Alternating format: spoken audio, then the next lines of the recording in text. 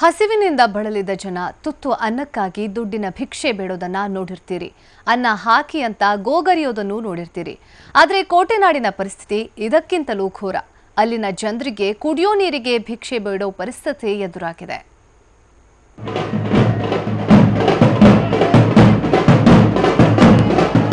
ಅಮ್ಮ, ತಾಯಿ, ಭಿಕ್ಷೆ ಹಾಕಮ್ಮ. ಒಸಿ ನೀರ್ ಕೊಡಮ್ಮ. ಕುಡಿಯಕ್ ನೀರಿಲ್ಲ ತಾಯಿ.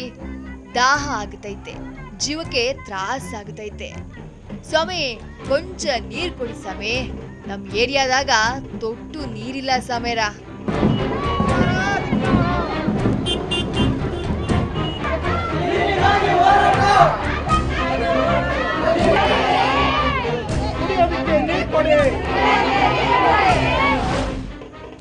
ಒಂದ್ ಕಡೆ ತಮಟೆ ಸೌಂಡು. ಮತ್ತೊಂದ್ ಕಡೆ ಕೈಲಿ ಕೂಡ ಹಿಡ್ಕೊಂಡು ನೀರಿಗಾಗಿ ಭಿಕ್ಷೆ ಬೇಡ್ತಾ ಇರೋ ಮಹಿಳೆಯರು. ಇನ್ನೊಂದ್ ಕಡೆ ಬೇಕೇ ಬೇಕು, ನೀರು ಬೇಕು ಅನ್ನುವ ಕೂಗು. ಹೀಗೆ ಬೀದಿ ಬೀದಿಲಿ ನೀರಿಗಾಗಿ ಭಿಕ್ಷೆ ಬೇಡೋ ಪರಿಸ್ಥಿತಿ ಬಂದಿರೋದು ಚಿತ್ರದುರ್ಗ ಜಿಲ್ಲೆಯ ಹೊಸದುರ್ಗ ಪಟ್ಟಣದ ಜನರಿಗೆ.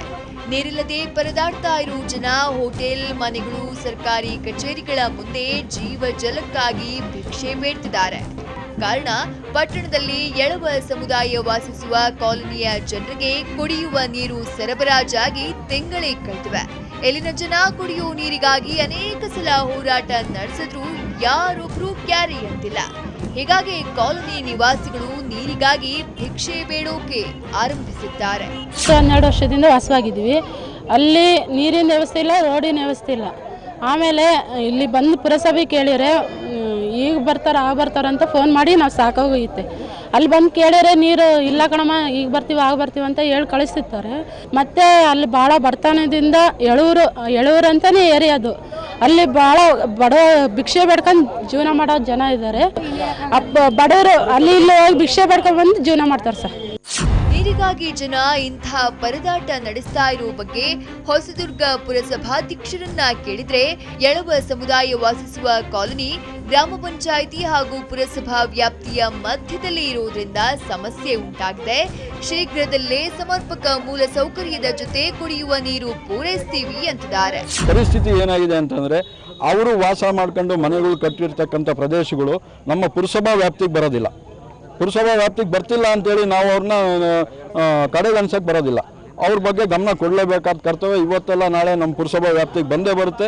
ಅದು ಈಗ ನಾವು ಹಣಗಳನ್ನು ಬಿಡುಗಡೆ ಮಾಡೋದಕ್ಕೆ ನಮಗೆ ಕುಂದು ಕೆಲವು ಕೆಲವು ಕುಂದುಕೊರತೆಗಳು ಅಲ್ಲ ಸಾರಿ ಕುಂದುಕೊರತೆಗಳಲ್ಲ ಒಂದು ಅಡೆತಡೆಗಳು ಬರೋದ್ರಿಂದ ನಮ್ಮ ಮುಖ್ಯಾಧಿಕಾರಿಗಳ ಹತ್ರ ನಾವು ಚರ್ಚೆ ಮಾಡ್ತೀವಿ. ಅಲ್ಲಿಗೆ ಹಣ ಬಿಡುಗಡೆ ಮಾಡಬೇಕಾದ್ರೆ ನಮ್ಮ ಪುರಸಭೆ ವ್ಯಾಪ್ತಿ ಬರೋದಿಲ್ಲ ಅಂದಾಗ ನಾವು ಅಲ್ಲಿ ಹಣ ಬಿಡುಗಡೆ ಮಾಡೋಕ್ಕೆ ಬರೋದಿಲ್ಲ. ಅದೇನೇ ಇದ್ರೂ ಕಾಲೋನಿ ಎಲ್ಲಿಗೆ ಸೇರುತ್ತೆ ಅಂತ ಲೆಕ್ಕಾಚಾರ ಹಾಕುವುದು ಬಿಟ್ಟು ಅಧಿಕಾರಿಗಳು, ಜನಪ್ರತಿನಿಧಿಗಳು ಕೂಡಲೇ ಕುಡಿಯೋ ನೀರಿನ ವ್ಯವಸ್ಥೆ ಮಾಡಬೇಕಿದೆ.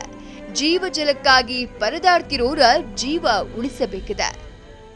Basavaraj, TV nine, Chitradurga.